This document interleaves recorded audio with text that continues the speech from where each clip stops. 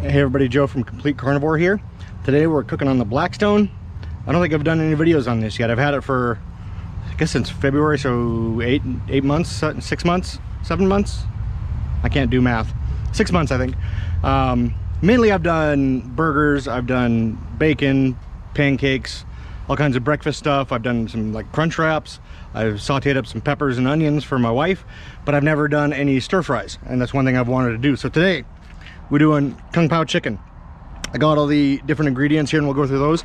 This recipe is from Kenji's book, The Wok. It's an amazing cookbook. Go buy it. I'm not going to give you all the ingredients, partially because I don't remember all of them right now. Um, but this recipe is on page 61, I believe, maybe page 62. Uh, it's kind of an Americanized Chinese uh, Kung Pao chicken, kind the kind you'd get at a, at a takeout place.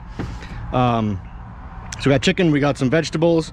The recipe calls for peppers and zucchini. I hate peppers, uh, like bell peppers. So I decided to use some green beans instead. We got some uh, red Chinese chilies. We got some garlic and, and ginger. We got some scallions. We got some peanuts. We got some sauce. We got some slurry. We got some chicken. Uh, this chicken, what you kind of do is you chop it up and you like put it in water and you mix it up with your hands and knead it up really good. Uh, it kind of helps break it down, helps soften it. Then you marinate it the marinade has marinade has some light soy sauce, some Shaoxing wine. I think there's some sugar in there. A couple other ingredients. Um, the sauce is pretty similar. It's rice wine vinegar, dark soy sauce, light soy sauce, Shaoxing, sugar, uh, vinegar, rice rice vinegar. Um, I might be missing one or two things there, uh, but that's it. And you basically cook all this up. This is my again my first time doing a uh, stir fry here, so we'll start cooking some chicken. It's nice and hot. Uh, this side over here, the burner's not on, so it's gonna be a little bit cooler. So as I cook things, I can kind of shove it out over there. So, um, let's get this chicken on and get it cooking. One thing I like about uh, kind of Asian dishes, Chinese dishes is they usually cook pretty quickly. You're looking at maybe five, 10 minute cooks depending on what size you have. Of course, this is normally done in a wok, but I wanted to do it on the Blackstone and see how it turned out. Bad thing about most Asian dishes is you use a lot of dishes. I mean, there's a bowl, bowl, little cups, other bowls. There's a lot of stuff going on. So there's a lot of dishes to do afterwards. Um, again, this is my first time doing a stir fry on the Blackstone. So we'll see how it goes. You just want to get the chicken cooked It shouldn't take too long. I got this on high heat. Again, like a wok, you're gonna want it as hot as you can get it. So I kind of figure that's the same I want to do here. Um, so we're gonna cook the chicken. Then we're gonna cook the aromatics, the ginger and garlic and, and peppers. Just get a little bit of uh, a flavor from those. Then we put the vegetables on. Add the chicken back in, add the peanuts, add the scallions, and pour the sauce over, and that's about it. So, um, you see where we're getting some good color on the chicken. Uh, I like using one of these big flat griddle spatulas. A uh, putty knife also works great. And also, I like using a bench scraper. Kind of just depends on how I'm feeling. But they're all good for tossing foods around, tossing meat around. So I kind of like the putty knife because it has a longer handle. You don't have to get quite as close to the food. Uh, and it's good for scraping up all the junk off the griddle when you're done too. So give this chicken a couple more minutes to cook. Take get a little bit of color. You want to kind of have it in one layer. You don't want it all piled up in one spot because obviously you got this big griddle. You might as well use it all. So still a couple little raw bits like right there. Don't want to eat that. So we'll make sure this is cooked.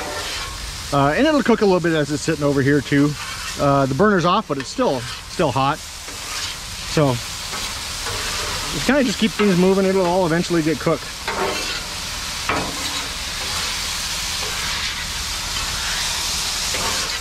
This is, uh, I'm making a double recipe. So I have two pounds of meat here. This is uh, chicken thighs. I just chopped it up. One trick when cutting chicken thighs, chicken breasts, uh, if you have them, pull them out of your freezer, cut them up when they're partially frozen. Makes it a lot easier to cut. Makes it a lot easier to cut, especially in the smaller pieces like this. So, um, So yeah, I took the chicken out of the freezer a couple days ago and it was still a little bit frozen this uh, afternoon when I went to cut it up, which is nice. I always like that. Um, but yeah, just boneless, skinless thighs. Good thing about a spatula like this, it's kind of a heavy duty one. I mean, there's not much flex in it. You can use it to chop up bigger pieces of chicken if you want. Works great for that, especially if it has a kind of a sharp edge. Let's go another minute or so here. There's still a couple pieces that I'm a little bit questionable on. Of course, you don't want to eat raw chicken. Nobody's going to enjoy that. Better to cook it a little bit more than not enough. Again, it's chicken thigh, so you don't run the same risk of it being super dry as you do uh, if it was chicken breast. You can use chicken breast for this. There's no problem with that. I just like the thigh meat better. I think it tastes better. It's usually cheaper, so it's like three bucks a pound. So altogether, you're looking at probably under $10 for this whole meal. Um, maybe even less. Serving it over rice. There'll be some ingredients and, and that's another thing about most Asian cooking is there's usually some ingredients recipes call for you won't have in your normal pantry. Um, there's all kinds of different like fermented bean paste. This doesn't have any of that. Um, Shaoxing wine is something most people probably don't have. You can use cooking sherry as a substitute. Um, this uses light and dark soy sauce. If you just have the standard grocery store bottle of soy sauce, you're going to be fine. Um, but there's a lot of a lot of specialty ingredients that you might not have in your pantry. But once you stock up on it, once you take a trip to the Asian market and get a few things, you can probably make do. Um, the thing I do like about most Asian cooking and stir fries like this is you can kind of modify it to fit your taste. Like I said, I don't like red peppers. I don't like green peppers, bell peppers. Um, so I leave them out. If you like them, put them in. If you like a lot of it, put it in. If you want onions in this, chop some onions up.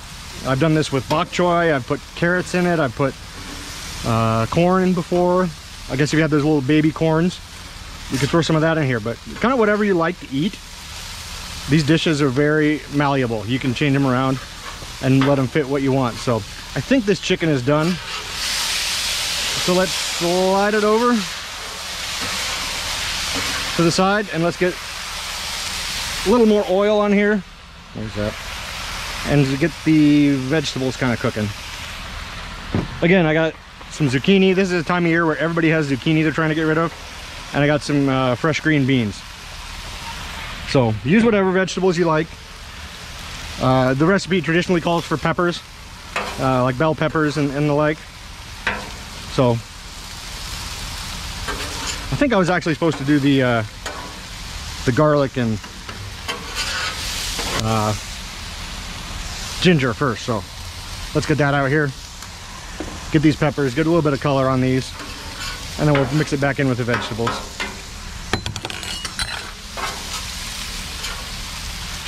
The nice thing about the, the, the, griddle as opposed to the wok, it's big enough where you can kind of do, get all kinds of different things going at once. If you forget forget a step, you're gonna have room somewhere else on the griddle to put it. Um, don't want your garlic to burn. Tastes bitter. You just want to give it a little bit of color. Get some of the oil that's on there flavored with the peppers and the, uh, the garlic and ginger. Um, in the book, the recipe has you just slice the ginger, a couple slices of it. I like it chopped up. I don't like biting into a big giant chunk of ginger.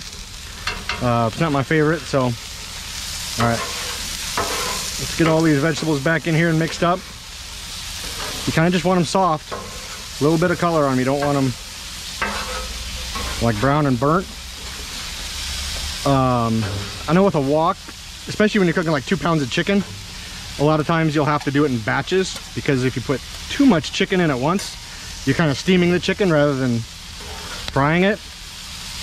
Nobody likes that. That makes kind of a little bit mushier chicken. Same with the vegetables. You want to be able to get the heat and, and I mean, wok cooking is generally high heat cooking. So let's taste one of these green beans and see if it's tender yet.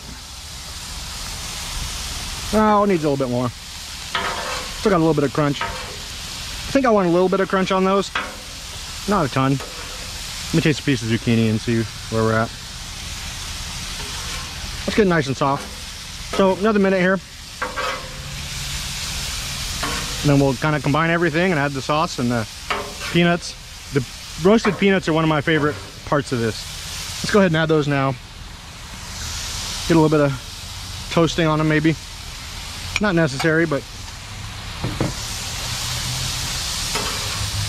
um, most of the recipes in the book, in this cookbook, they're easy to follow. Um, he breaks it down pretty good step by step. And a lot of the recipes, once you learn the techniques in some of them, uh, like mashing the chicken with your hands in the water and rinsing it off, that's that's used in a lot of the different recipes. Um, okay, got some scallions, we'll throw those in.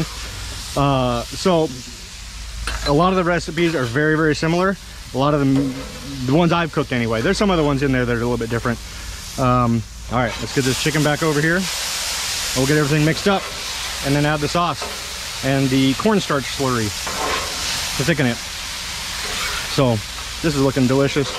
But yeah, once, once you've done a few of the recipes and you learn a few of the techniques, uh, it's pretty easy to do, pretty simple. I think this is looking good. Let's add some sauce. This is one thing I was scared about is I don't want all the sauce running down the uh, grease drain. And we have a cornstarch slurry here that should thicken things up. So hopefully this also get thickened up. Be nice and clingy to everything.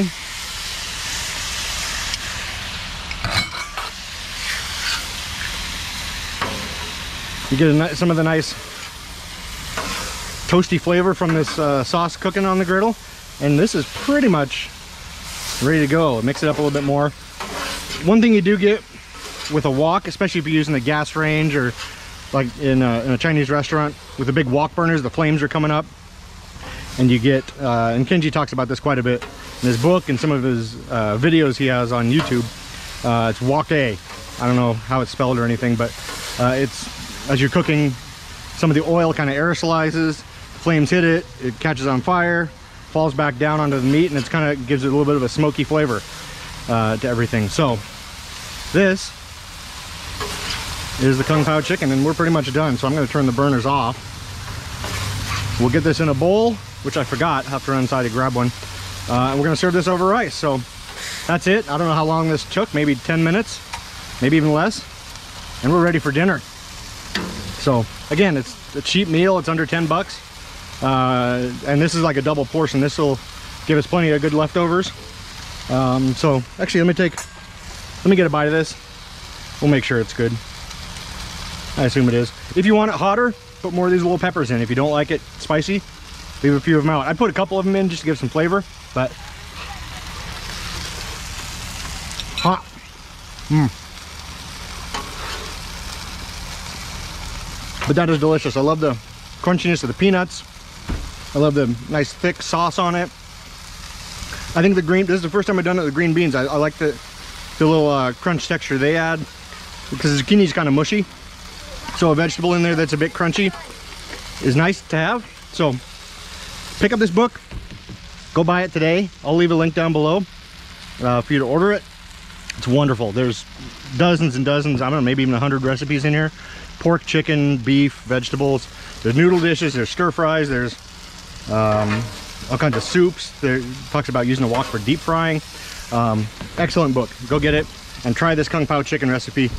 I would use this as the first one you cook because it has a lot of the basic techniques you're going to use in a lot of the other recipes. Again, do it on a wok or if you have a Blackstone, if you have another griddle outside, you, you can use that. If you have just a big flat metal thing you put on your uh, charcoal grill or gas grill. That works fine too. So, all right, I want to eat, so we're going to be done now. And my wife heard me and brought me a bowl. So we're going to get this loaded up and inside for dinner. So thanks for watching. If you have any questions, leave them in the comments. Again, I'll put a link down below to go get this book. Um, I've had it for, I think it came out in March, sometime around there, but I, I've had it for a while and I love it. Everything I've tried is great. Uh, leave any questions or comments. Be sure to like and subscribe. It's always nice when I see new subscribers. So thanks for watching.